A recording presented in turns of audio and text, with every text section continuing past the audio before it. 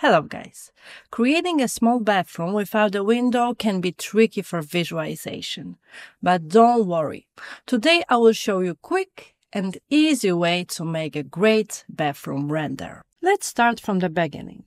For a narrow interior, the best approach is to create a view using a section plane. If you are creating a section plane, you need to change an option in the asset editor in the geometry tab. Check camera rays only and uncheck affect light and clip light geometry. This prevents light from going through the created section. To create a view for a small or narrow interior, it's better to change the aspect ratio in the Render Output tab. Turn on Safe Frame to see the render frame and change the aspect ratio to 1 to 1, square. When you are creating the scene, remember to change field of view. I usually set it to 35 degrees, but for narrow interiors, you can increase it, even to 60 degrees. Set the two-point perspective and save the scene. It's time to move on to lighting. Firstly, remember that using only one light source isn't enough. Add different lights with various temperatures. This creates a 3D effect and makes your visualization look better. I will create an emissive material. Increase the intensity and apply the material to select faces. The emissive material is visible, but it might not be strong enough to illuminate the scene. To enhance the lighting, I will use IES lights. Place them under the spotlighting copy them four times and change their properties. Adjust the light color to a warmer tone and set the Kelvin temperature to 5000. Let's increase the intensity to 8000. IES lights need high intensity to illuminate the scene properly. I change the shape from IES file. Before checking the render, turn on the material override option to not be distracted by the materials in the scene.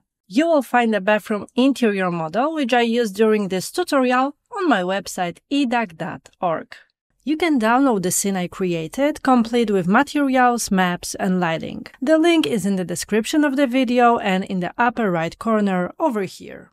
After rendering, if the scene is still too dark, adjust the exposure in the render settings. For interiors without windows, I usually decrease the exposure value to 11 or 12 to brighten the scene. Now let's create the next set of lights. Place rectangle lights above the shower, decrease the intensity, change the color, set them as invisible to hide the shape of a light source. Then place rectangle lights in the alcoves adjust their intensity, color, and check them as invisible. Now the render looks much better. To create a mesh light, select the grouped object and click on the Convert to Mesh Light icon. Adjust the mesh light's intensity and color to the warmer tones. Now we have several light sources. It's a good idea to add a light mix render element to have control over each light in the post-production. This is our scene. To brighten this up, increase the exposure.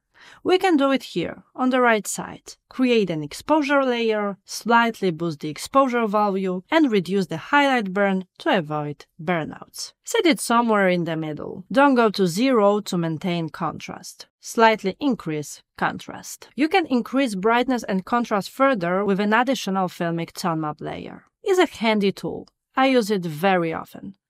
Let's check the visualization with materials. In the render settings, turn off the material override option and render the scene. It looks great. Depending on the materials used, your scene may vary in brightness, so tweak the exposure value and filmic tone layer again.